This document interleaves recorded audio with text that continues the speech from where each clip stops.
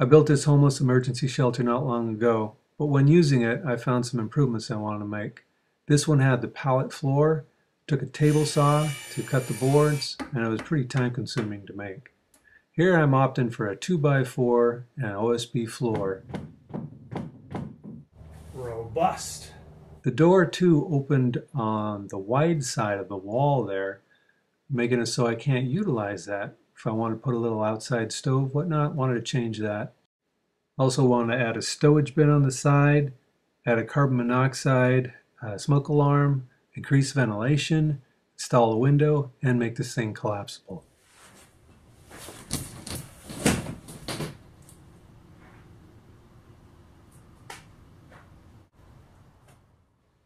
Unlike the previous shelter that had the two pallets where I assembled uh, each sheet over one pallet and then join the two together, here I'm taping the two panels together. This is the taping technique that I use when I want two sheets to fold together.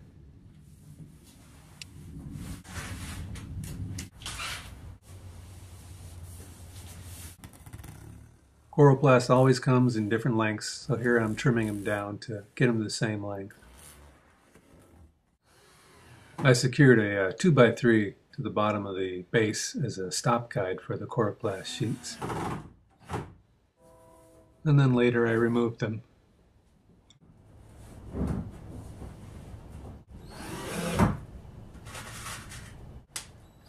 After I secured the two Coroplast panels to the base, I went ahead and cut out my two uh, OSB end caps. Seeing they got to fit tight, especially the front one, I went ahead and wedged it up tight against the uh, top of the shelter. Now I'll get in with pencil, trace along the bottom, and I'll know where to cut off the bottom of this panel. Here I'm getting the OSB ready to paint, sanding down all the edges. I think OSB stands for obnoxious liverboard. Hey, but it's cheap.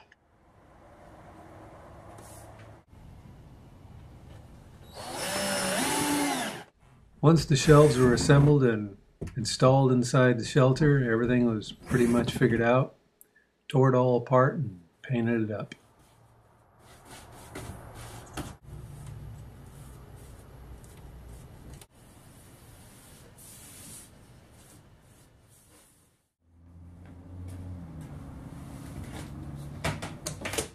This is a, uh, collapsed and delivered to somebody. This is how you put it together. Once you have the back side screwed down, you take the sheet, screw one side down, finding the old holes, rolling it over, then attaching the uh, panel to the other side. Now a person could use piano hinges to uh, secure the two side walls That'd be handy. But here, being a prototype, I just uh, did it this way.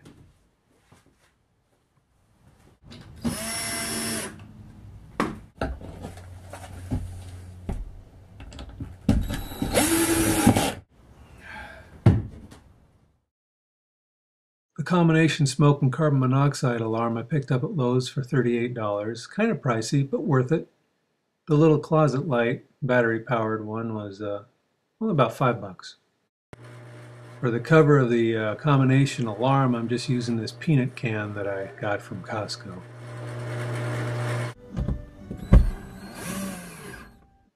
To secure the light down, I had two L brackets, cut the ends off and bent them in the vise, they worked pretty good.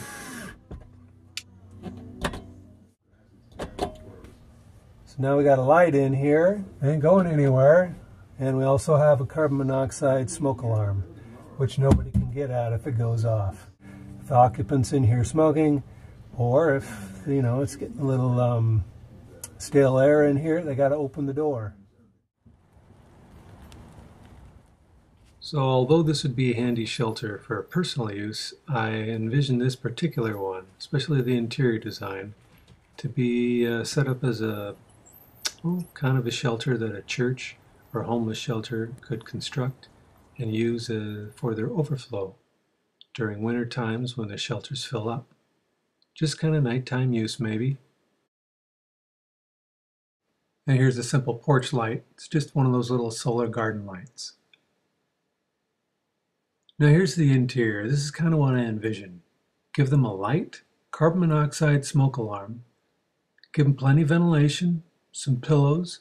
Give them a clock, several magazines, a bottle of water, an energy bar. Give them a place to put their loose stuff and a pee jug. Give them a three inch foam mattress. Make life comfortable. Give them a vinyl cover so it's easy to clean up. Give them a place to put their shoes, backpack, a way to lock themselves safely inside, a window on the door, and maybe some silk flowers. Why not? So although this wasn't part of the design, the little shield you see in the corner there uh, worked out pretty nice for this little one burner butane stove.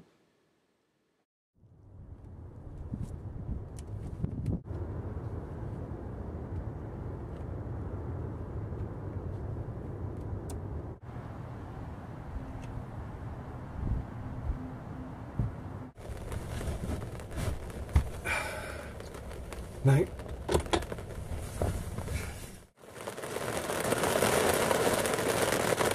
It's really downpouring outside. Kind of noisy in here, but at least I'm dry. I didn't get much sleep last night. Uh, it would have been great if you were deaf, but uh, it was like sleeping with my head inside of a drum. Ay, ay, ay. Uh, condensation still in here. Not too bad on the walls. Mm, sleeping bag's dry. Didn't have to crack the door open, so I think I got the ventilation good. Felt like there was good airflow going. And it's still about 10 degrees warmer in here than the outside. But it can be warmer, huh, especially when it gets down to colder temperatures. After thinking it over, I decided to put a second layer of coroplast over the top. So I think this second cover here will add some uh, little bit of our insulation to the inside of the shelter, hopefully absorb some of that rain noise. Well, I appreciate you bearing with me, watching this video. It's food for thought. This is about a $200 shelter when you add everything together. The foam mattress, the vinyl cover, everything that you see in here. Pretty cheap for a shelter that should last quite a few years. Thanks for watching, everybody. Have a great day. Bye bye.